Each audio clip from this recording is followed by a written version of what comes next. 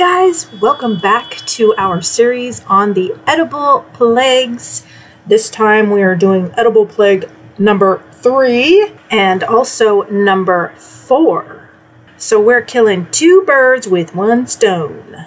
So the name of these plagues is flies and lice, or lice and flies. I can't remember which one comes first. I think it's the lice and then the flies. But it doesn't matter because we're doing two in one on this one. So we basically did what we did last year, which was rice pudding with some raisins.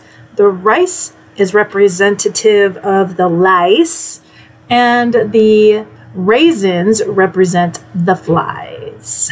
I guess I, we could have used black rice because lice are not white. As far as I know, there aren't any out there that are white. They're actually black.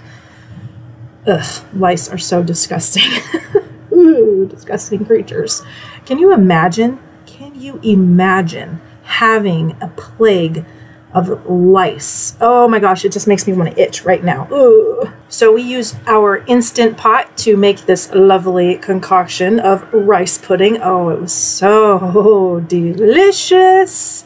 I will have linked below what we used so that you can go ahead and check out that recipe and make it yourselves.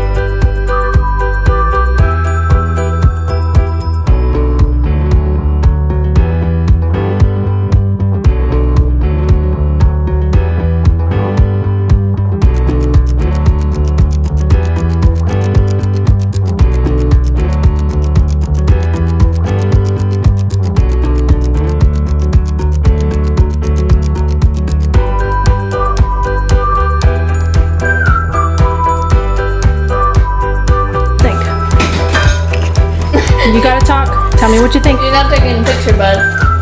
Tell me what you think of it. Uh, You're talking to the camera. I'm recording. you like it? yeah. Yeah. You just had a whole bunch of stuff to say. Now you don't. Are you camera shy? Yeah. Staring into a Is it good? Yeah. What about you, Ariella? It's really good.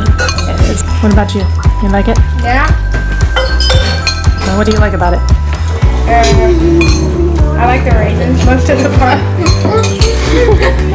that was the easiest part. It's sweet. You, you helped make it, right? Mm-hmm. You and your sister? Nice